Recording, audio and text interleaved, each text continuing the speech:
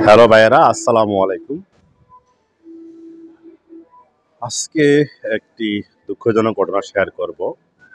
ঘটনা হলো যে, সাত লক্ষ টাকা খরচ করে সিঙ্গাপুরে আসার পর এক ভাই এক বছরে মাত্র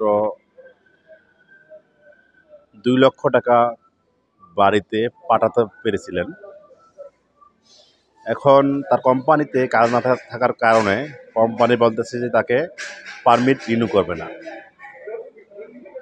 এখানে বলে রাখি যে কনস্ট্রাকশন সেক্টরে কনস্ট্রাকশন সেক্টরে প্রথম পারমিট এক বছরের জন্য হয়। পরবর্তীতে কোম্পানি চাইলে তাকে রিকন্ট্রাক্ট করে পারমিট রিনিউ করে। আর মেরিন সেক্টরে পারমিট হয় দুই প্রথমবার দুই বছরের জন্য। পরে কোম্পানি চাইলে সে কন্টিনিউ আরও কাজ করতে পারে। সো ভাইয়ের পারমিটের ম্যাচ শেষ পর্যায়ে আটত্রিশ দিন আছে। তখন কোম্পানি ডেকে বলে, তাকে দেশে পাঠিয়ে দিবে কোম্পানিতে কাজ না থাকার কারণে। বাইরে তখন উপায়হীন হয়ে আমাকে কল দিল যে, ভাই, আমি এত টাকা খরচ করে আসলাম, এত টাকা। আমি এখন দেখা যায় কী করব? এই ঋণ আমি শোধ করব কীভাবে? আসলেই তো কত কষ্ট। সাত লক্ষ টাকা ঋণ করে দেশ সিঙ্গাপুরে আসছে। এক বছরে দুই লক্ষ টাকা দিচ্ছে আরও পাঁচ লক্ষ টাকা ঋণ আছে। তার মানে এক বছর সিঙ্গাপুরে যে থাকল, এটা কি সশ্রম কারাদণ্ডের মতো আর কি। শ্রম দিয়ে গেল কারাদণ্ড হইল তার দুই এক বছরের জন্য, এরকমই মনে হয় আমার কাছে। তো ভাইটি বলল যে, ভাই, আমি এতটা খরচ করে এখন চলে যাব, আমি কী করব? আমাকে একটু উপায় বলে দেন। আমাকে একটা কোম্পানি খুঁজে দেন।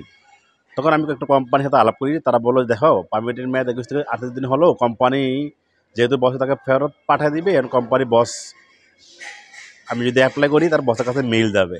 বস যদি এগ্রি হয়, তাহলে আমি আনতে পারব। তার সাথে বলো তাকে বলো যে সরাসরি এমএমএ চলে যেতে এমএমএ গিয়ে বিষয়টা জানালে এমএম সরাসরি তার বসকে মেল করবে বা কল দিবে, বলবে যে, এই ওয়ার্কারটা রিলিজ দিয়ে দাও।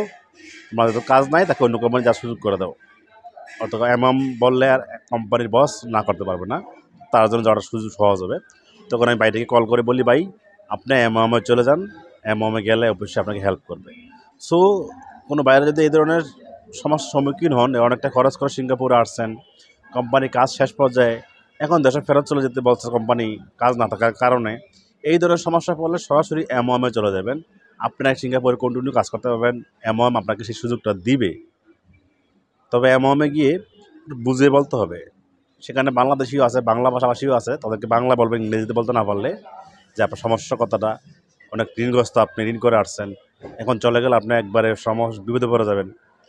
কথাগুলো যদি সমস্যা কথা যদি ব্যাখ্যা করতে পারেন, তাহলে তারা অবশ্যই আপনাকে হেল্প করবে। ব্যাখ্যা করতে না পারলে আপনাকে হেল্প করবে না? উদার শুধু শুধু আপনাকে গিয়ে ফেরত আসতে হবে। সো আপনার যদি পারলে কেন পরিচিত যে ইংরেজিতে ভালো বোঝে, তাকে হাতে করে নিয়ে যাবেন। আর নয়, সেখানে বাংলাদেশি আছে দুবাসী আসে তাদের সাথে বাংলা বলবেন, তারা আপনার কথাটা ওই অফিসারদের কাছে ইংরেজিতে অনুবাদ করে দিবি। এটা সবচেয়ে বেশি ভালো হয়। তো ভাইয়েরা, এই ধরনের সমস্যা কেউ না পড়ুক, এই দোয়া করি। আর লক্ষ লক্ষ টাকা খরচ করে সিঙ্গাপুর আসে এভাবে কারও ফেরত যেতে না হয়, সেই দোয়া করি। সকলে ভালো থাকবেন। আল্লাহ হাফিজ।